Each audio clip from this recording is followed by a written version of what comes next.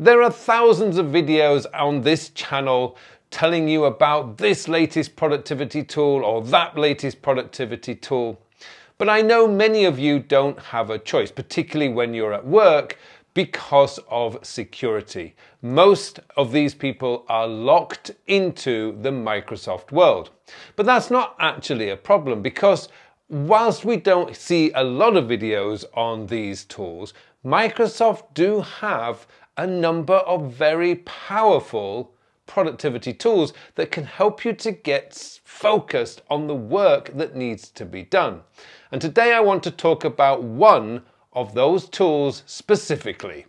That tool is Microsoft To Do. Now, Microsoft To Do has an interesting history. A few years ago, probably about five or six years ago, Microsoft bought a task manager called Wunderlist. And Wunderlist had a lot of people who loved it because you could change the colors and it actually was very, very nice. It was customizable, but in a limited way so that it didn't interfere with your overall productivity. Anyway, Microsoft came along and bought it and eventually shut it down and it reappeared as Microsoft To Do. Now, as I've been working with some of my coaching clients who have this problem there, they don't actually have a choice over what task manager to use, I've come to find that Microsoft To Do is really quite powerful. Today I want to show you why I think this, and if you are in this position where you don't have a choice when at work, I want to show you how to get the most out of it. Now, in the sidebar on the left-hand side of To Do, at the top we have a number of pre-existing lists, if you like. Now, one of those is called My Day, which is incredibly powerful. More on that later. We also have like planned, we've got tasks, which is effectively your inbox. But then underneath that, we have lists. Now, all task managers seem to have different names for this particular area. Todoist calls it projects, others, Microsoft, uh, Apple Reminders calls it lists, and Microsoft To Do calls it lists. And I actually prefer that because it then doesn't confuse the issue and makes you feel you have to put projects in there. But the thing about lists is you can create whatever list that you want. Now, I'm going to recommend that you set up the time sector system. Why wouldn't I? Because I know that system works. So if you set it up with this week, next week, this month, next month, long term and on hold, and a separate folder for your routines, you've got a nice way to organize your tasks. Now, the reason why I strongly recommend the time sector system is if you try to manage your day on a task level, you are going to find yourself overwhelmed, stressed out, and anxious because there's just too much stuff coming at you on a daily basis. And I know a lot of people like to organize their list by project, but this is a task manager, it's not a project manager. If you really need to manage projects, that's what your notes app is for. That's what David Allen would have called your project support materials. That's where you manage projects from. A task manager really needs to be time-based. It's what I call time-based productivity in that you've got a limited amount of hours to work with each day. And that's a good thing because now you've got constraints. Constraints are good. And this means that you have to pick carefully where you are go- what you are going to work on and how much time you're going to spend doing it. This way you avoid being stressed out, overwhelmed and anxious because you are dealing with reality, i.e. this is the time that I've got, these are the thousands of tasks I've got to do, which ones are the most priority or the biggest priority. Now, the way to get to do to work for you is based on two fundamental principles of time management and better productivity, and that is the weekly and daily planning sessions. Now, at a weekly level, you will throw any of your tasks. You'll look at your task list, and I would be looking at this week, next week, and this month. And what I'd be doing is you pull in tasks that you decide need to be done in the next seven days. Anything that you feel needs to be done in the next seven days gets moved into your this week folder. Now this is a critical part of using to do because of this folder at the top called my day. My day is a very, very powerful focusing tool. What I like about my day is any task that you don't complete on the day will immediately revert back to its original list. Now that list might be tasks if it's stuck in your inbox, or it might be in one of your folders in, I say folders, I mean lists in the sidebar. And that's a good thing because it means that you are now forced and I really mean that as a good thing, you are forced to plan your day. Now, the only problem I have with the My Day list is that you cannot pre populate that list the day before. You have to wait until after midnight. It is my day, literally my day. That's today. So for those of you using To Do, what you would need to do is every morning before you start your work day. And what I would do here is I would then spend five minutes and no more, five minutes before you start your day in your This Week folder, which you've already decided when you did the weekly planning session.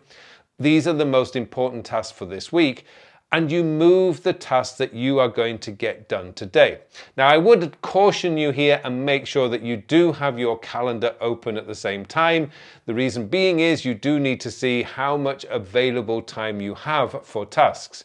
For most of us, our appointments with other people are always going to be the priority of the day. So if you've got seven hours of meetings and you work a typical eight hour day, that actually only leaves you with one hour if you're lucky to deal with tasks. And obviously on top of that, you've got to deal with your messages, your emails, and anything else that pops up that day.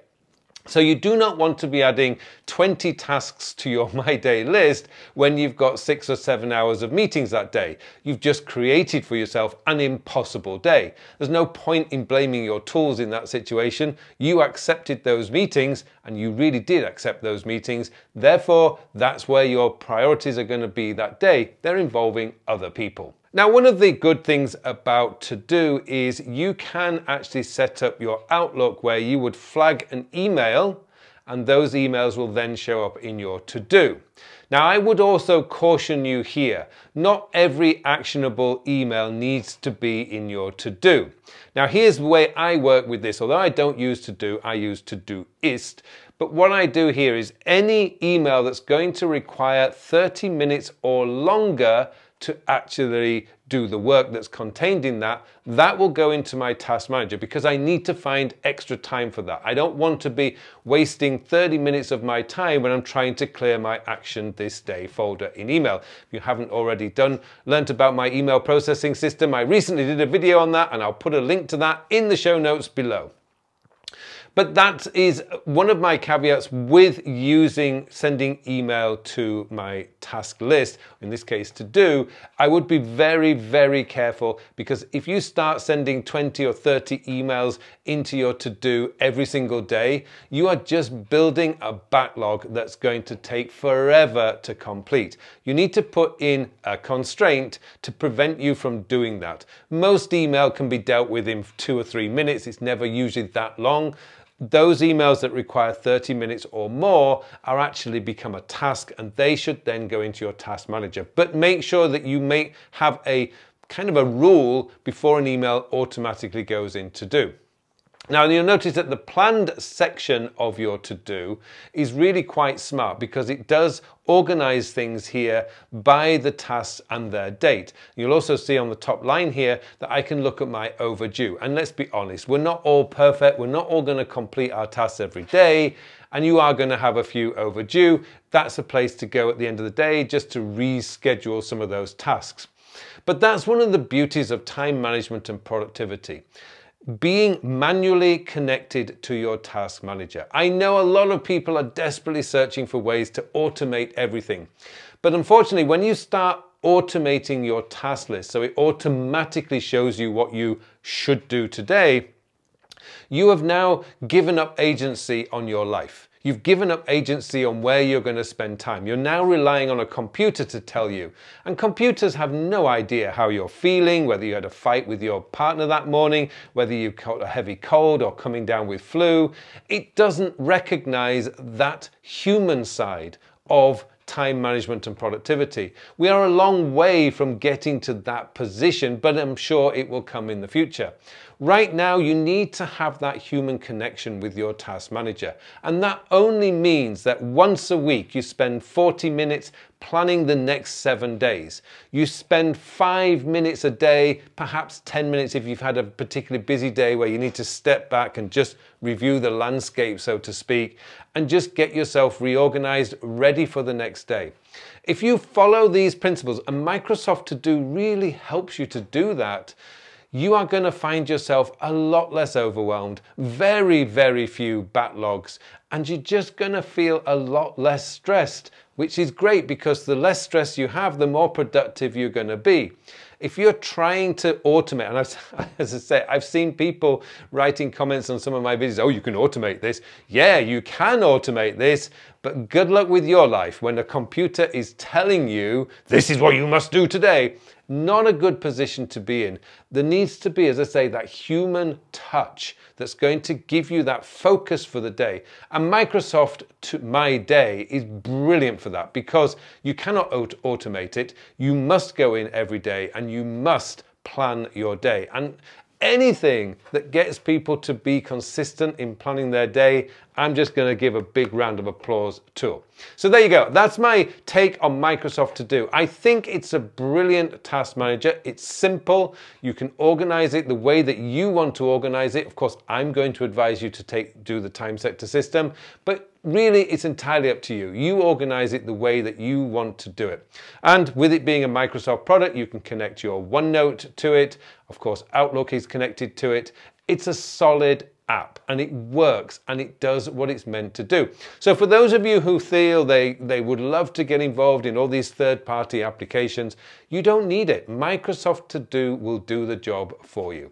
Thank you so much for watching this video. And as I mentioned a bit earlier, if you're interested in how I do my email, then this video up here is the next video to watch.